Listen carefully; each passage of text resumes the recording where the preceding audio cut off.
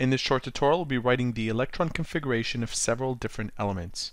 To do this, you'll need to know the diagonal rule, and the diagonal rule is a guideline explaining the order in which electrons fill the orbital levels.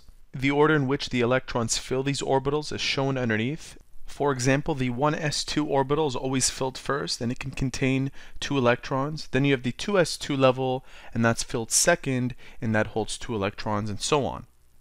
In question number one, we're asked, write the electron configuration for each element. We start with magnesium, and magnesium contains 12 electrons. So, we distribute two of these electrons into the 1s orbital, leaving us with 10. Then we have two into the 2s orbital because it holds a maximum of 2 as well. Then 6 into the 2p orbital as it holds a maximum of 6 electrons. And finally, 2 into the 3s orbital. That adds up to 12. Now, of course, you can write this down in a shortened way. You can write down neon 3s2 because neon contains 10 electrons and you're left with 3s2. The next element that we have is phosphorus and phosphorus has 15 electrons. So following these rules we have 1s2, 2 electrons in the first, 2s2, 2 electrons here, that's 4, 11 more to go. Now we open up 2p, 2p, and you can have up to 6 in this one. That's 10 altogether. We have 5 more left. In the 3s shell, we have 2, 3 more left, and we end up with 3p. We'll put 3p, 3. Of course, you can shorten this the same way we did here.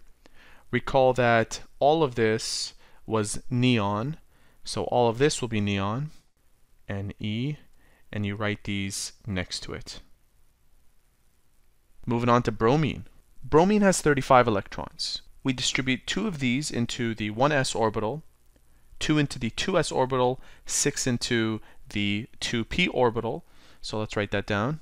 1s2, 2s2, 2p6. So far that's 10.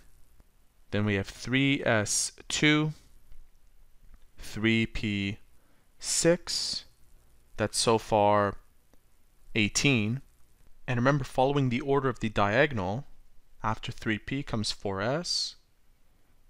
That houses 2. Then we have 3d. That holds up to 10 electrons. And then 4p. So let's count how many we have so far. 2 plus 2 plus 6, that's 10. 16, 18, 20, 30. We need five more, and we know this holds up to six, so we'll write down five.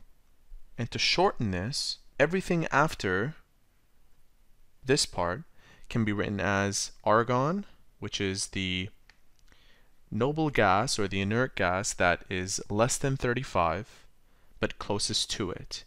And we write down 4s2, 3d10, 4p5. Mind you, I corrected the short form for argon. It should be A and little r.